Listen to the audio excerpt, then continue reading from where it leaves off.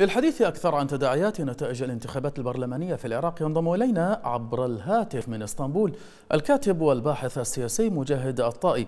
أهلا بك سيد مجاهد يعني تحالف الفتح يقول أن تطابق نتائج الطعون يزيد الشكوك بشأن تزوير الانتخابات.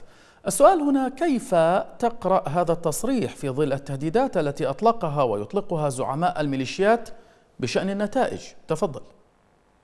نعم تحية لكم ولمشاهديكم أهلا بك. طبعا رفض رفض النتائج ورفض نتائج الطعون هو يعني جزء من يعني عدم الاعتراف بالفشل وهو جزء من المكابرة التي يكابرون بها يعني الأطراف الخاسرة. نعم. يعني هذه جميعا جزء من يعني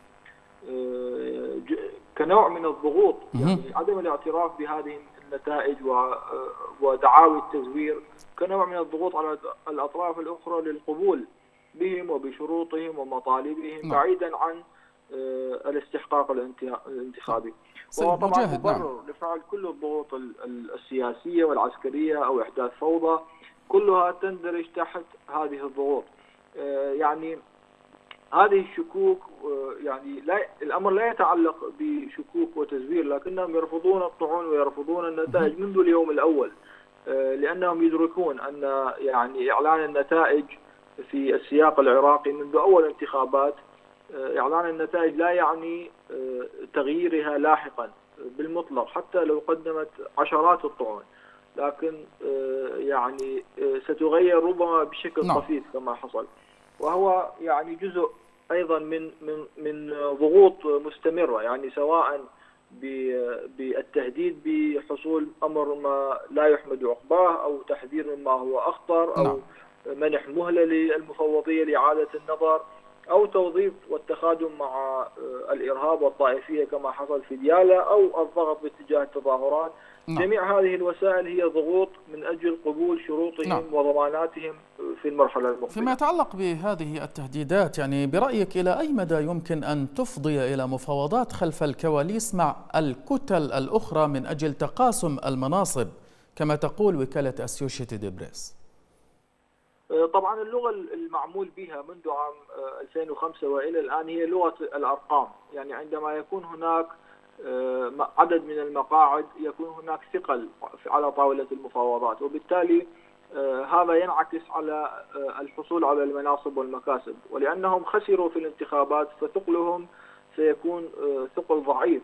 لذلك هم يلجؤون إلى أدوات غير أدوات الديمقراطية لممارسه العديد من الضغوط من أجل فرض فرض شروطهم وتأثيرهم على الأطراف الأخرى من أجل قبولهم حتى لو لم يكن هناك رصيد انتخابي نعم.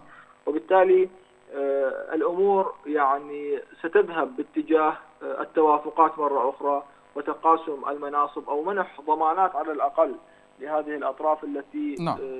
تشعر بالقلق من نتائج الانتخابات وانعكاساتها نعم. على وضع الميليشيات سيد مجاهد. و... نعم. نعم سيد مجاهد يعني إلى أي مدى ترى بأن العراق أمام عودة جديدة للمحاصصة الطائفية التي رسختها العملية السياسية بعد 2003 يعني من قال أننا تجاوزنا المحاصصة أساسا؟ يعني نحن مع يعني ما بعد مرحلة تشرين هناك حديث عن تحقيق ديمقراطية الأغلبية بعيدا عن التوافقية والمحاصصة. لكن المحاصصة يعني يحترم يحترموها هذه الكتل ويقدسوها أكثر من الدستور لأن المحاصصة تعني في العراق استمرار هذه الأحزاب في عملها لأن يعني الأحزاب ليست يعني عملها عمل حزبي كما هو موجود في الديمقراطيات الغربية وإنما الحصول على المكاسب والمناصب من أجل الاستمرار والاستثمار في مناصب الشأن العام نعم. لذلك أنا لا أعتقد أن هناك تجاوز على المحاصصة نعم. حتى لو كان هناك يعني تيار صدري ضاغط نعم. بهذا الاتجاه حتى ولو شكليا لا يمكن تجاوز المحاصصة لأن الجميع نعم. يعتقد أن المحاصصة هي المغذي الأساسي لجميع نعم. هذه الأحزاب.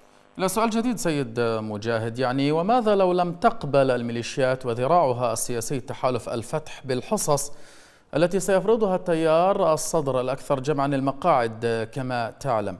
وهل احتمالية الفوضى حاضرة بحضور السلاح بين الطرفين؟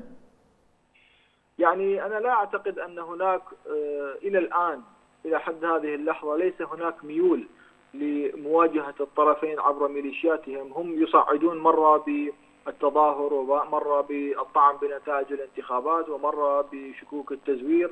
لكن الأطراف التي لديها قوة الردع تتجنبها هذه الميليشيات نعم. خاصة وأنها يعني اختبرت مثلا التصعيد ضد القوات الأمريكية هناك قوة ردع ضدهم.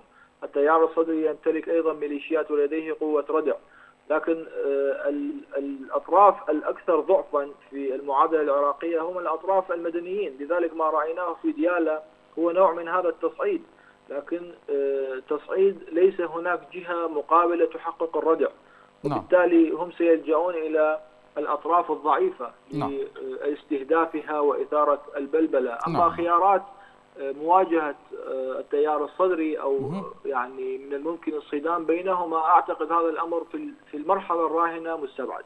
السؤال الأخير الآن سيد مجاهد يعني برأيك وبعيدا عن المحاصصة والتفاهمات هل ينجح الصدر في تشكيل حكومة بعيدا عن المحسوبية والفساد رغم دعاياته المستمرة وتصدير صورة بأن تياره هو التيار الإصلاحي بين أحزاب فاسدة؟ طبعا هذه يعني جميع هذه ال ال ال يعني الشعارات سواء بالإصلاح ومحاربه الفساد وحصر السلاح بيد الدولة ويعني تشكيل فيتو على شخصيات جميعها نوع من الضغوط التي يمارسها التيار الصدري فهو تيار يعني سلطوي لكنه يهوى المعارضة ويمارس مع باقي الأحزاب المحاصصة والفساد وجميعها. يعني على سبيل المثال ممارسة الفساد هناك وزراء فاسدين تابعين للتيار الصدري. وما نعم. يتعلق بالميليشيات وحصر السلاح بيد الدولة هناك أيضا يعني ميليشيات تابعة للتيار. وبالتالي المناصب والمكاسب التيار الصدري يحصل على أعلى المناصب والمكاسب من الدرجات الخاصة والمدراء العامون. لذلك أنا لا أعتقد أن التيار الصدري لديه رغبة حقيقية بالإصلاح إنما هو رفع السقف نعم. من أجل الحصول على المكاسب والحصص التي تتناسب مع استحقاقهم الانتخابي. الكاتب والباحث السياسي مجاهد الطائي شكرا جزيلا لك.